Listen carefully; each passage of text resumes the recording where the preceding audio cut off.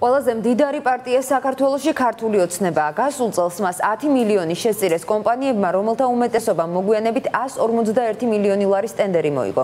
კორუფციის შესაძლო ნიშნების შესწავლას კვლევის ავტორის საერთაშორისო გამჭვირვალობა ითხოვს. ბიძინა ივანიშვილის თანაგუნდელებისთვის კი შესასწავლი არც არაფერია. მართველი პარტიის არალეგალური დაფინანსების სქემაზე მიუთითებს ოპოზიცია და აცხადებს, რომ წინასაარჩევნოდ პოლიტიკური ფული რეგულაციაში უნდა მოექცეს. საერთაშორისო გამჭვირვალობა საგამოძიებო უწყებებს და აუდიტის სამსახურს მიმართავს და პოლიტიკური პარტიების შეწირულობებით დაინტერესებას თხოვს. არასამთავრობო ორგანიზაციის კვლევით მართლმა პარტიამ 2019 წელს შეწირულობების სახით ყველაზე მეტი 10 მილიონამდე თანხა მიიღო და ის ყველაზე მდიდარი პარტია. შემწირულებს შორის ბიძინა ივანიშვილთან დაკავშირებული კომპანიები არიან. ამ კომპანიებმა კი მოგვიანებით ტენდერების სახით 2019 წელს ბიუჯეტიდან 151 მილიონზე მეტი მიიღეს. იკვეთება კონკრეტული ჯგუფი კომპანიების და პირებისა, რომლებიც არიან დაკავშირებული ბიძინა ივანიშვილთან, ხდება კომპანიები, რომლებიც იღებენ დიდ შემოსავლებს სახელმწიფო ბიუჯეტიდან. მნიშვნელოვანია, რომ ამ კომპანიებით დაინტერესდნენ შესაბამისი სამსახურები. ოპოზიციაში ფიქრობენ, რომ მართლმა გუნდმა დაფინანსების მიღების არალეგალური სქემა აწყო. მათი განცხადებით, სხვა პოლიტიკურ პარტიებთან შედარებით, მართველი გუნდის ფინანსური უპირატესობა წინასაარჩევნო პროცესზე ცუდად აისახება.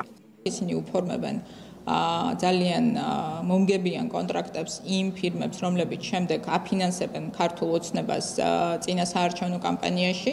ეს არის ფაქტიურად შეიძლება ითქვას, რომ ლეგალიზირებული კორუფციის სქემა. ქართულ მოუწოდებამ ამ ბოლო წლებში ააწყო ძალიან ბევრი არალეგალური სქემა იმისა, თუ როგორ წაიღოს ბიუჯეტის ფული და ეკონომიკიდან ფული, მიცო თავისი პარტია დააფინანსოს.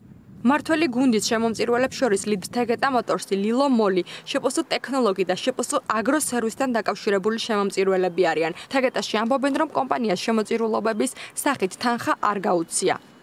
კომპანიის სახელით თანხის გადარიცხვა არ ხდება. თუ რომელიმე თანამშრომელი რაღაცა ტიპის პოლიტიკურ სიმპათიას გამოთქვამს ამა თუ იმ პოლიტიკურ პარტიის მიმართ, ის არის აბსოლუტურად მისი გადაწყვეტილება.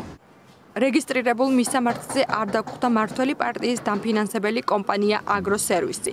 რა სერვისი აგრო ცხოვრობ ამ სახლის გახსნიდან? პირველად მესმის.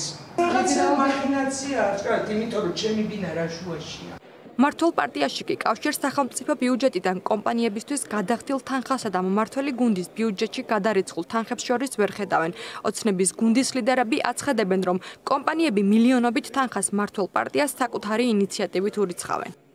პირდაპირ დაკავშირება იმაში, რომ იმათმა გააკეთეს სადღაც ინვესტიცია, ტენდერი მოიგეს, შემდეგ შეწირვა შემოწირულობა გააკეთეს, არასწორია და რასაკვირველია გარკვეული პოლიტიკური ინტრიგის საფუძველიც ამაში დევს. ქართულ მოუწნებამ ბიზნესი მთლიანად გაათავისუფლა სახელმწიფო და პარტიული ზეწოლისგან. ამიტომ გასაკვირი არ არის რომ ბიზნესმა ძალიან კარგად დაინახა სად არის თავისუფლება და სად იყო ტერორი და კონდების წართვა და ფულის გამოძალვა. კვლევაში მოხდა Facebook-ზე დასპონსორებული პოლიტიკურ პარტიებთან დაკავშირებული გვერდებიც, რომელიც Facebook-მა რამდენჯერმე უკვე წაშალა.